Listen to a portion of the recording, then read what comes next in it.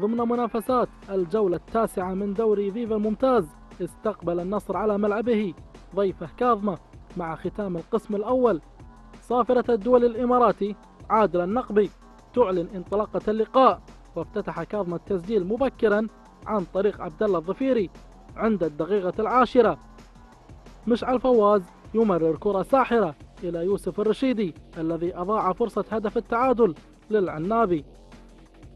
هجمة مثالية لكاظمة بدأها المايسترو مشاري العازمي وأنهاها بنفسه مسجلا ثاني الأهداف للسفير. يردها حارس المرمى يردها محمد هادي وتلعب المرة الثانية ويسددها مشاري بالجول. جول!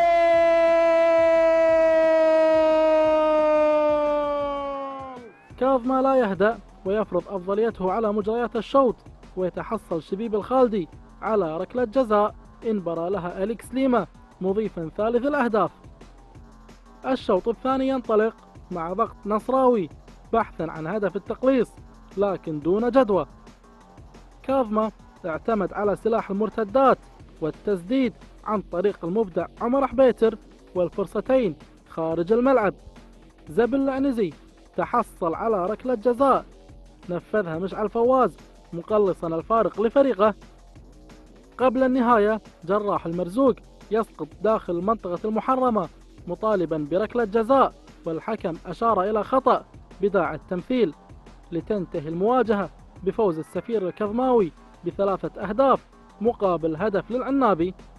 مجمل المباراة كنا أفضل يعني في المباراة يعني حتى الشوط الأول يمكن الثلاث أهداف يمكن حتى واحد فيهم من ضربة جزاء أنا ما أدري شلون حسبه ضربة جزاء. يعني الحكم أنا اعتقد أنه سوى أخطاء يعني حتى مو شرط يعني بس البلنتي اللي ما حسبه اللي حسبه يعني حتى بعض الأخطاء الفاول. يعني كان ممكن يعني في أخطاء ممكن يعني هذا تأثر في سير المباراة. يعني النتيجة لو مو جول وفي جول أعتقد في بلنتي أو شيء يعني كانت النتيجة ممكن تصير النتيجه 2-1 وتو الناس. لكن أنا ما بيعلق على يعني اعلق الخسارة على أخطاء الحكم لكن هو جزء من اللعبه الفوز يمكن يا بوقت حلو يعني عندنا وقفه نراجع حساباتنا من جديد. يعني مركز رابع مو طموح نادي كاظم إحنا طموحنا إن شاء الله يعني أفضل من هالمركز هذا. آه، عندنا فترة الحين آه، يعني آه، وقفه أسبوعين تقريبا نرتب صفوفنا إن شاء الله. وإن شاء الله القسم الثاني نأدي أفضل من اللي أديناه. تعرض أخونا فواز دوسري حارس مرمى نادي كاظمه حق إصابة بسبب التحام آه، بالوجه ولكن تعرض إلى قطع داخل الشفه من داخل. الشفه العلوية أتوقع والسفلية خمس غرز آه، تو راح آه، مع صاحب صحبه مدير الكرة مدير جهاز الكرة أخوي العود منصور الثنيب والحمد لله تلقى العلاج اللازم في مستشفى الفرانية ورجع. النصر يتكبد خسارته الثانية على التوالي وتضعه في موقف محرج مع فرق القاع.